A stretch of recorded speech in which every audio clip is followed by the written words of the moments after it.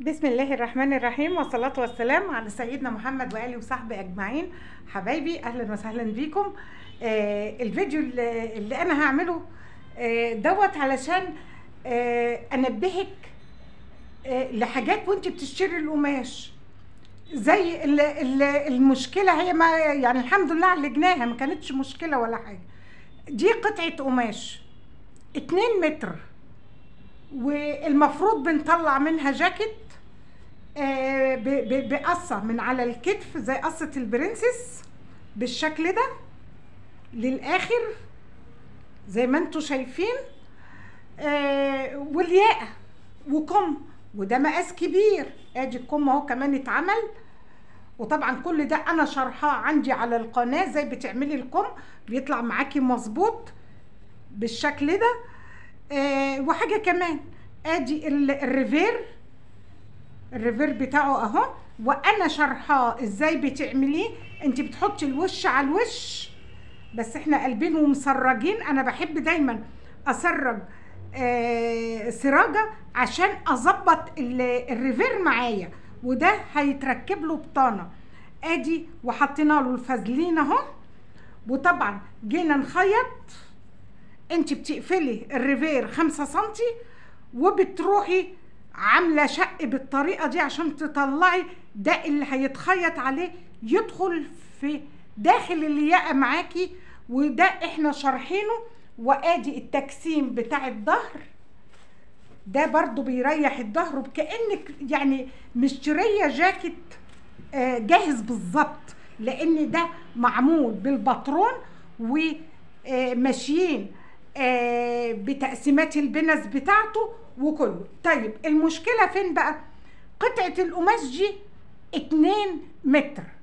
الاتنين متر دول لو انت هتعملي جاكيت من غير أي تفاصيل زي ما إحنا عاملين كده. عاملين اهي. ادي التفاصيل بتاعته عاملين القصة من عند نص الكتف. آه لأن ده مقاس كبير. آه القصة اللي بتبقى من فوق الجيرو دي بتدي عرض. يعني لو حضرتك جسمك ممتلئ وجيتي تعملي القصة من فوق الجيرو دي هتزود معاكي هيدي إحساس إن انت عريضة. لكن اللي من نص الكتف بالطريقة دي دي بتسحب معاكي الجسم بتاعك ما يبينش حجمك. إذا كنت ممتلئة صدرك ممتلئ لا ده ما بيبينش الحجم بتاعك. أنا حبيت بس الفيديو ده أديكوا شوية النصايح عشان تعرفي إيه اللي بيحصل. وآدي تقسيمة البنس أهي. اهي بصي أهو. آدي ماشي بالظبط مع القماش. طيب ال- ال- المشكلة بتاعتنا إن ده مترين ولازم يتعمل فيه التفاصيل دي. انت حبيبتي لما تروحي تجيبي قماش مالكيش دعوة. البياع يقول لك خدي قد إيه. المفروض انت بتروحي تشتري القماش تكوني مظبطة المقاسات بتاعتك. العرض بتاعك قد إيه محيط أكبر قد إيه لأن هو ده اللي انت بتشتغلي عليه. آه غير ده وده التفاصيل اللي انت هتعمليها في الموديل يعني دوت اتعمل له ريفير وسجاف ادي الريفير والسجاف اهو. يعني إحنا واخدين من فوق 2 سم وسايبين بتاع 3 سم للتنظيف ونضفنا وعملنا الأوفر وكل حاجة. أدي السجاف أدي الكم. جه معانا الياقة. طب الياقة هنعملها إزاي؟ وهي عايزة ياقة والريفير والتقسيمات وجيب الشق وكله. وعلى فكرة القماش طلعنا منه قصاقيس اللي هي الضعيفة بقى بتاعت الحردة بتاعت الرقبة. آه الجزء اللي بيبقى آه من عند آه تقسيمة ال- الكم واخدة بالك؟ فطبعا انت حضرتك لما تعملي الباترون إحنا عملنا الباترون اهو. ادي الباترون بتاعنا بالطريقة دي. وده يا حبايبي أنا شرحاه على القناة الباترون ال profile الأساسي. جميل جدا جدا وبيمشي مع تقسيمات جسمك. ادي أهو واخدة بالك؟ عملناه بالشكل ده. ادي الباترون أهو يا رب بس يكون واضح معاكم. ادي الباترون أهو وعملناه برضو ورسمت الأطوال بتاعته وخدتها. يعني أنت بتاخدي الطول اللي أنت عايزاه وبتاخدي التقسيمات بتاعتك وكله وبتروحي حاطة على القماش وقصة. ده بيحل معاكي مشكلة إن القماش معاكي قليل. آدي خلا آدي ال- الأمام أهو وآدي الخلف بالتقسيمات بتاعته برضو.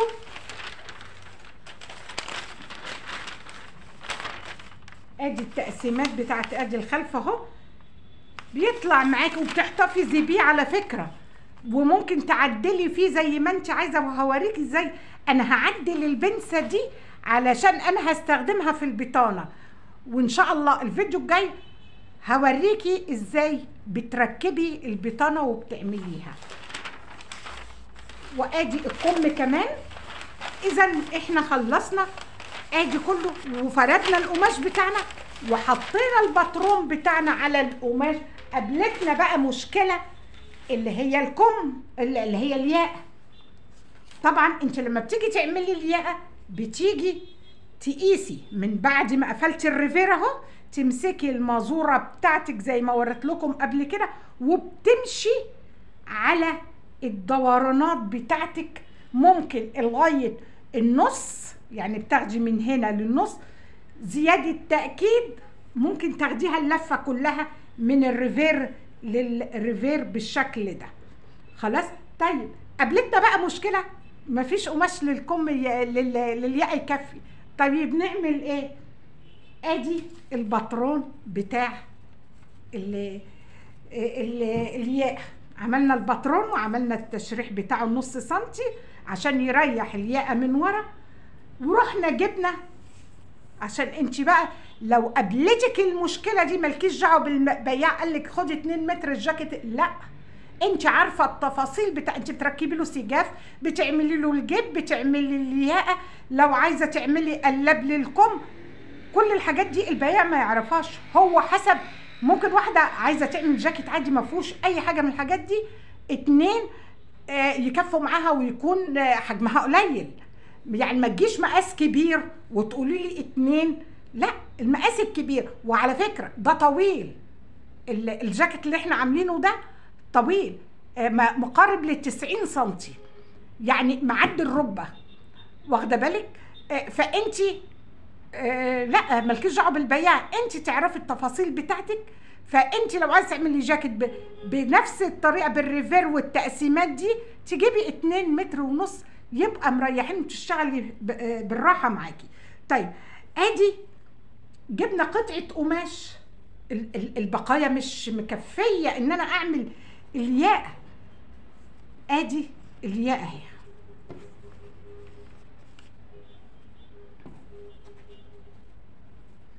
أخدنا آدي بصي إحنا عاملين توصيلات فين؟ بتيجي بقى عشان تصلحي الموضوع تروحي واخدة قطعه طبعا إحنا هنا عايزين نعمل توصيلات. التوصيلات تعمليها من خلف الياقه من دوران الرقبة الخلفي. ليه؟ عشان لو لو حضرتك حطيتي يعني القماش ده أنا كده قصيته. لو حطيته من هنا عندنا الياقه من الامام هتبان هيبقى شكلها سيء جدا. أهي. فانت لما تيجي تعملي توصيل للياقة. آدي تاخدي لو القماش معاكي مكفي يا دوبك بتاخدي القطعة اللي هي بتكمل معاكي. هبصي يعني أنا خدته كده. ده حبايبي دي خبرة ودرس مهم ليكي. عشان لو قابلك حاجة زي كده. بصي بقى يبقى أنا ناقص عندي الجزء ده من الياقه أخدت قطعة أهي ورحت عاملاها كده. ناخد من هنا عشان هو ده الاظبط تخلي بالك من الدورانات بتاعت ال- الياقه أهي بصي يبقى أنا كده أخدت الجزء اللي هو دوت. يبقى أنا خدت هنا وكملت وصلت بيه. جيت الجزء التاني التحتاني أدي الياء طبعا إحنا بنشتغل أهو بالطريقة دي. هو التاني عشان إحنا عاملين فازلين فتحس إنه إيه؟ هيبقى مشدود معاكي شوية هيبقى بالطريقة دي. والجزء التاني أهو موصلين برضو قطعة فالياقه من ورا مش هتبان. لكن لو جيتي حطيتي على نص القماش وقلتي أكمل من عند الجزء الأمامي بتاع الياقه لا ده هيبان معاكي طيب عملناها ركبنا الفازلين بتاعنا. مية مية أهو. أدي الياقه أهي. طيب إحنا عايزين نعمل بقى الجزء الثاني من الياقه ده الجزء بتا... آه، الوش. إحنا عايزين لتحت جبنا من البطانة قطعة وعملنا كده نحطهم على بعض. يبقى الجزء بتاع البطانة بيبقى بالشكل ده. ادي يبقى الجزء بتاع البطانة ده اللي هيبقى تحت ولما تيجي تقلبي هتبقى الياقه دي من فوق ودوت من تحت. يبقى انت كده حليتي مشكلة ان القماش معاكي ناقص ومش مكفي غير ده وده عملتي الياقه وتصرفتي إزاي ان انت كملتيها وعملتي الجزء ال- الداخلي بتاعها في منتهى السهولة منتهى البساطة ما فيهاش أي مشكلة. هنيجي بقى للجيب ال- الشقة. وده إن شاء الله لما أعمله هعمل لكم الفيديو وإحنا بنركبه وبنقصه. ادي بصي حتى آه، الفازلين القصاقيس اللي بتطلع يعني ده درس مهم ليكي. إن أنت كل قصقوصة وكل قطعة قماش أنت بتستغليها. مفيش حاجة تترمي. أنا مثلا رحت القصاقيس بتاعت الفازلين بصي أنا عملت إيه؟ اخدت القصاقيس كملت مع بدال ما أبوظ آه، جزء تاني لا تبقي اقتصادية في ظل الظروف اللي إحنا فيها دي تقدري إزاي ترشدي ال- الخامات اللي معاكي بالطريقة دي؟ ومش هتبان وسهلة جدا. وهتيجي بقى نعمل إن شاء الله منها الجيب الشق بس أنا حبيت أوريكي القماش القليل معاكي ممكن تصرفي فيه إزاي؟ لو ما كفاش الياقة معاكي لا هتعمليه بياقة ونتصرف زي ما أنتوا شفتوا. وهي ممكن نروح عاملينها برضو قدامكم كده. كده واضح؟ طيب. ادي هن- هنقص بقى كده قصينا وخلاص. هتيجي بقى. لما تيجي بقى تمكني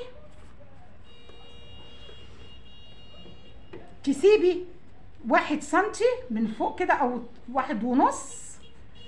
إحنا عاملين حسابنا في الب... لأن ده اللي هيدخل مع الياقه من جوه. تروحي عاملة كده. إحنا برضو عاملين حسابنا. بسم الله الرحمن الرحيم. ونروح نشغل بقى نشيل الجاكيت ده كده. بس أنا هوريكم الجزئية دي. أنا شارحه تركيب الياقه وازاي بتشطبيها. آه، هحط لكم الفيديو في الاي هي ليه مش عايز تشتغل. بسم الله الرحمن الرحيم. آه، ممكن تكون الكهرباء.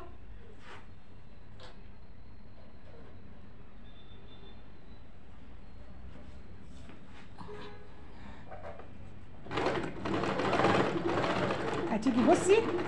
انت بتسيبي بنت كده أو بنت ونص هنيجي بقى هنا. تكوني حريصة عشان ت... هناخد الجزء ده كده وتروحي. بصي بترفعي الدواس وبتروحي لفة معاكي ال- ال- القماش بالشكل ده. بصي وتاخدي لأن هنا في دوران أهو. تقومي تاخدي ال... تحطي القماش بالدوران وتقولي بسم الله. بتظبطي إيدك بالراحة كده. تمسكي القماش كده لحبايبي المبتدئين. بصي أنا ماسكة إزاي؟ حبايبي اللي بيقولوا القماش بيزحلق مننا. وبالراحة خالص تشتغلي على أساس إن أنت تظبطي ال- القماش معاكي. ده يا حبايبي درس عملي. وإزاي بنعالج القماش معانا لما بيبقى قليل. تروحي مظبطة كده.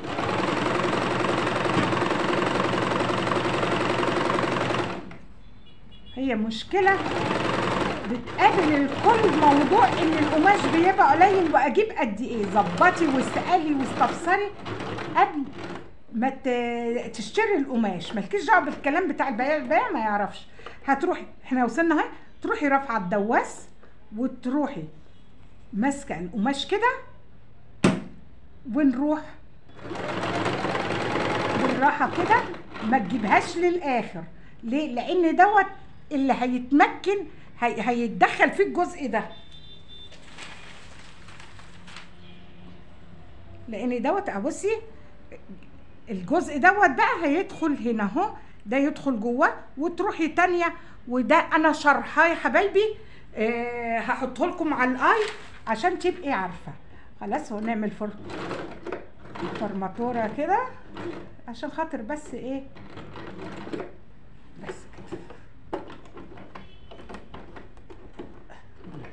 خلي بالك ال- المكن الحديث ده. إن ما كنتيش ماشية مسار الخيط وتخيطي مظبوط هو حساس جدا. آدي كده ويبقى خلصنا. الياء تيجي بقى تظبطي بالطريقة دي هو هنا فلت؟ لا ما فلت. آه لا فلتت هنا ليه؟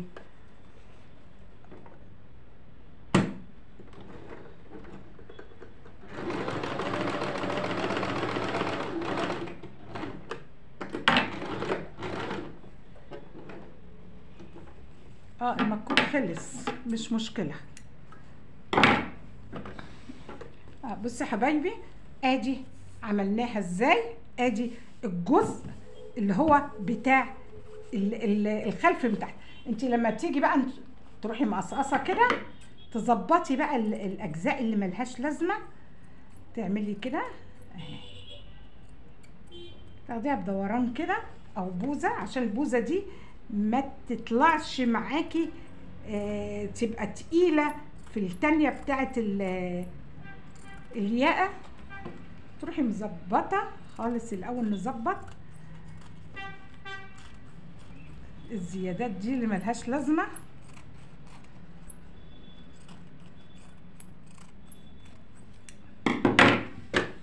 مش مشكلة. تروحي ماسكة المقص بتاعك بقى عشان ده دورانات وتروحي مريحة كده الدورانات بتاعتك بالشق اللي بنعمله ده. الفرد اهي تاخدي كده. بس كده. مش طيب هاخد ده كده. وتروحي قلبة ادي هنقلبها بقى هيبقى بالشكل ده. بصي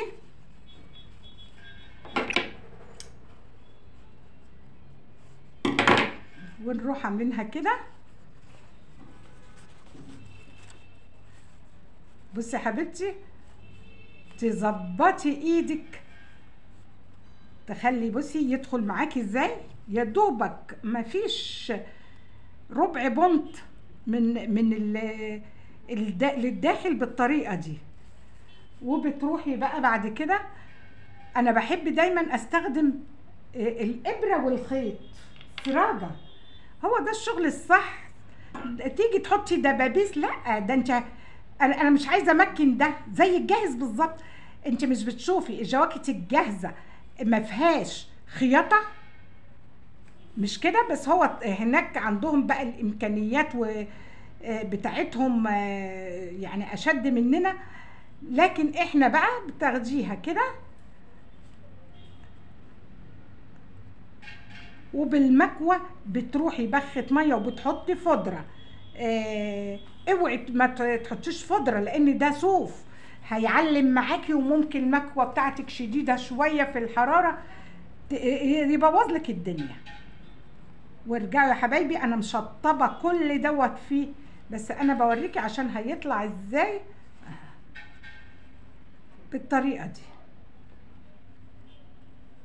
ما جبناش الدبابيس مش مشكلة. ادي حبايبي. بنروح عاملين لها التنبيك كده.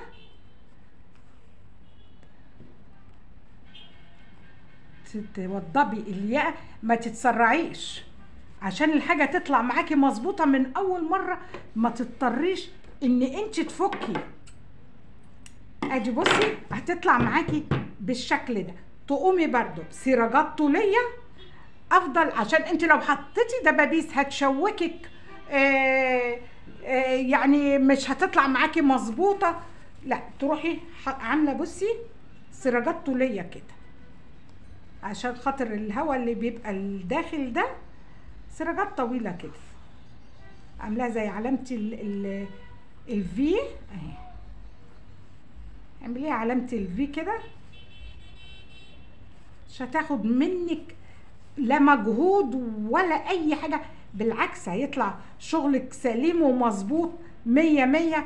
والياء أهي بصي من الخلف. تبقى بالشكل ده.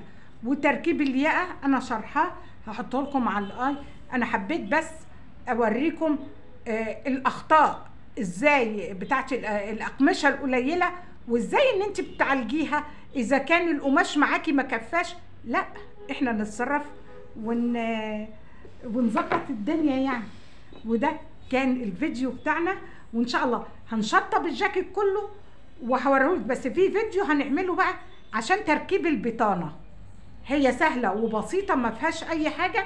إن شاء الله أعملها لكم وإحنا بنركبها آه، هوريكي إزاي بتركبي البطانه ويا رب تكونوا استفدتوا وألقاكم على خير إن شاء الله. السلام عليكم.